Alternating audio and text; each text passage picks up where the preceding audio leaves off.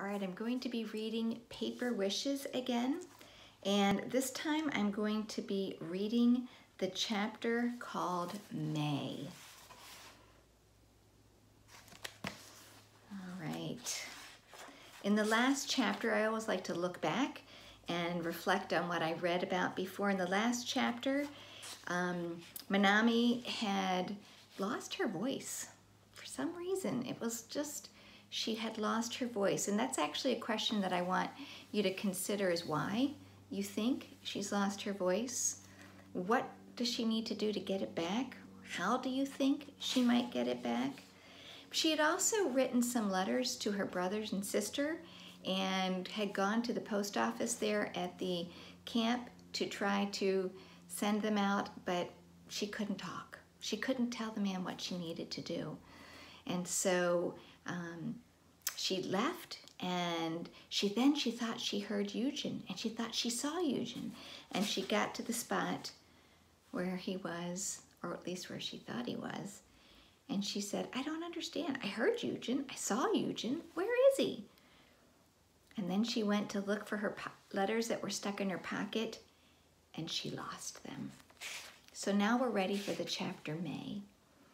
Mother's seeds have sprouted the cucumbers and zucchini were first, but the rest followed quickly. Mother added herb seeds too.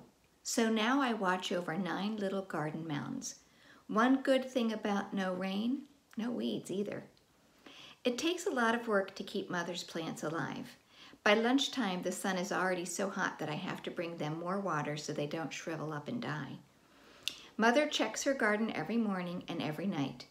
The rest of the time she talks to our neighbors and helps Mrs. Soto with her many children. Father works from morning until night. All day long while Father's work crew builds barracks, a garbage pile grows. It holds leftover scraps, the things that are too bent or broken or too small for them to use. At the end of the day, the work crew fathers look over the pile and take things that they like. When they are finished, the pile is almost gone.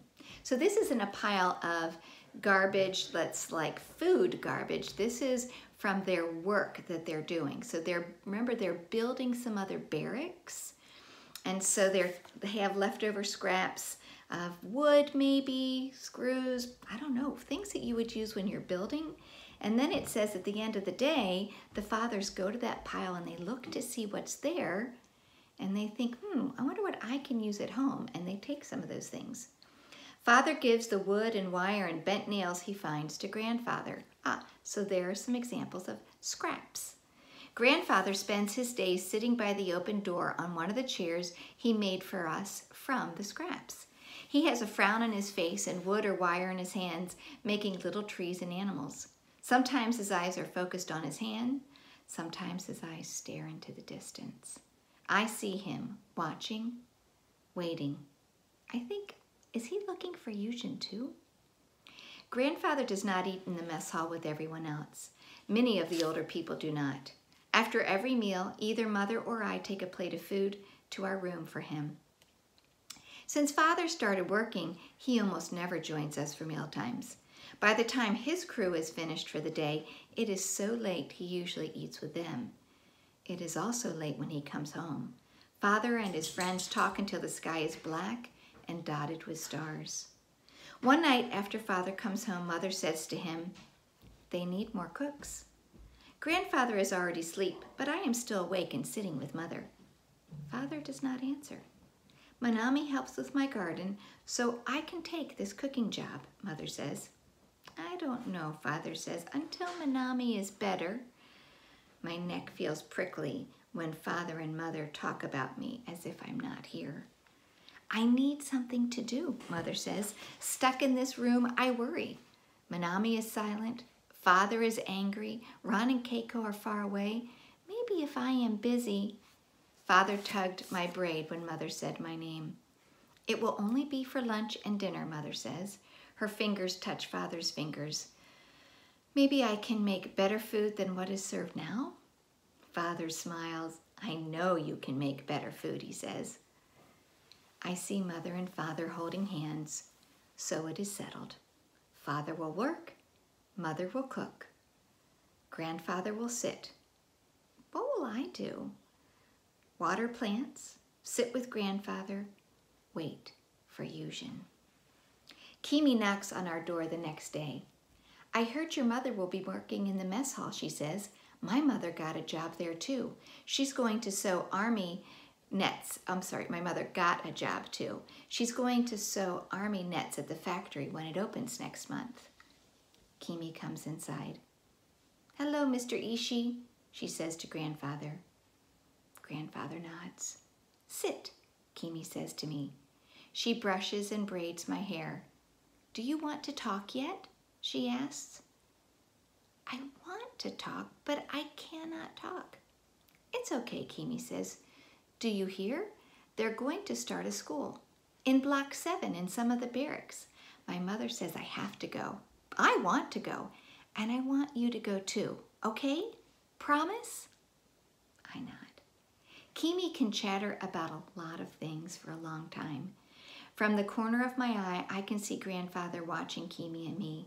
I think he almost smiles when Kimi's chatter becomes so fast that it is hard to understand her. Kimi is a good friend, grandfather tells me after she leaves.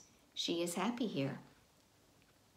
That is true, but Kimi is always happy. Maybe one day you will be happy here too, grandfather says. So I, one of the things I want you to do is think about this person, Kimi. Why has the author included her in the story? How is she a good friend to? Every day the prison village gets more crowded.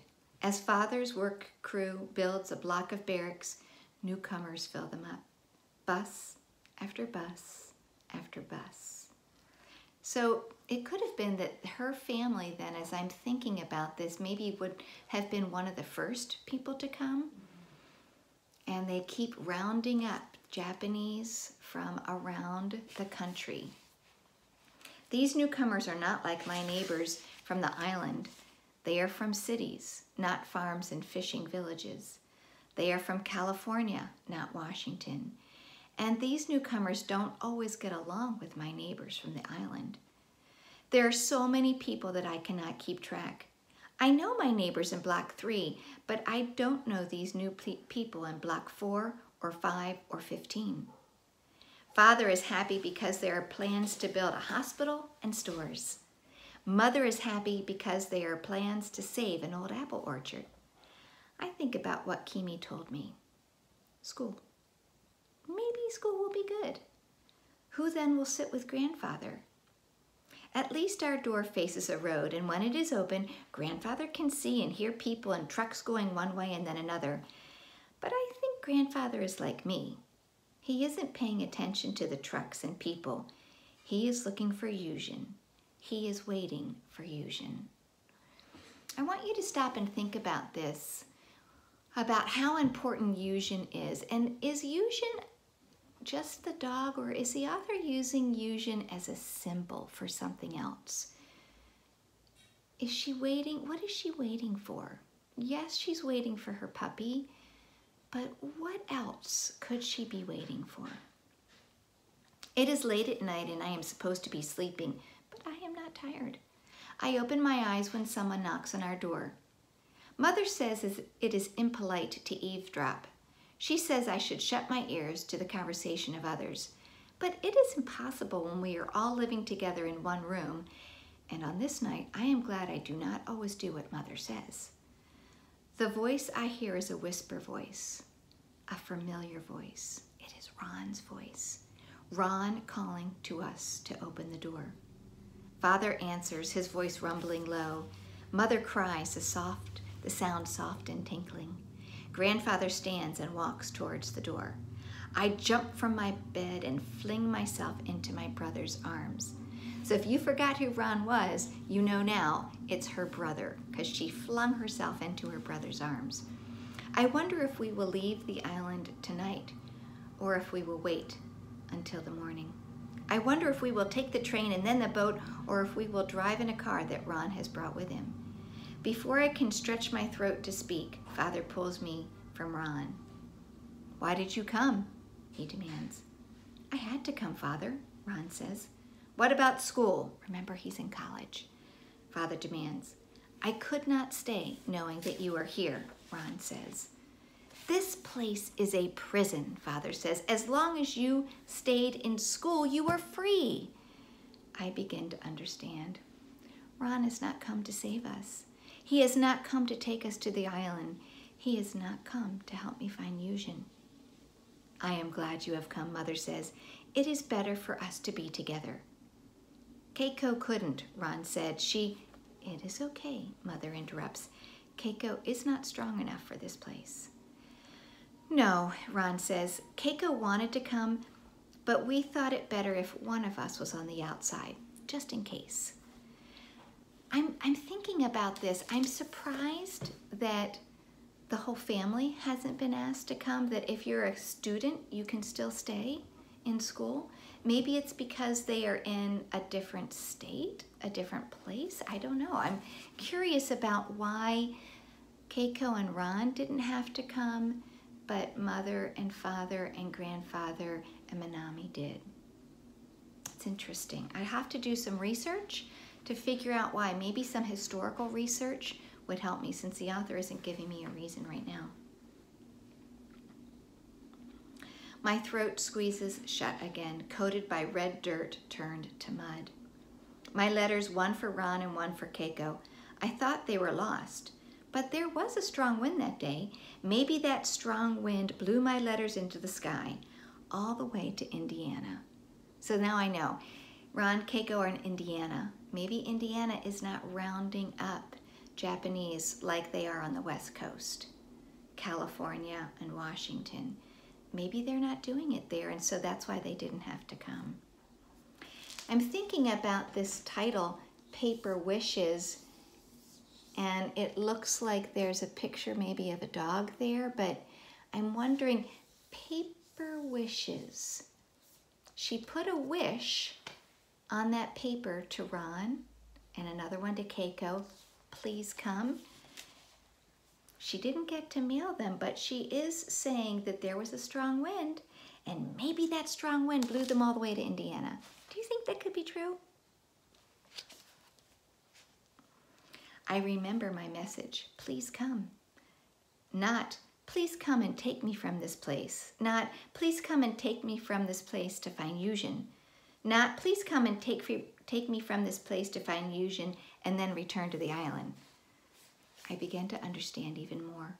It is my fault that Yujin is alone on the mainland far from the island. It is my fault that grandfather has stopped laughing. And maybe it is even my fault that Ron is with us in this prison village far from college. That's the end of this chapter. Please look for the discussion questions underneath so that you can answer those. You don't have to turn them in, but answer those so that you're ready to share on Monday.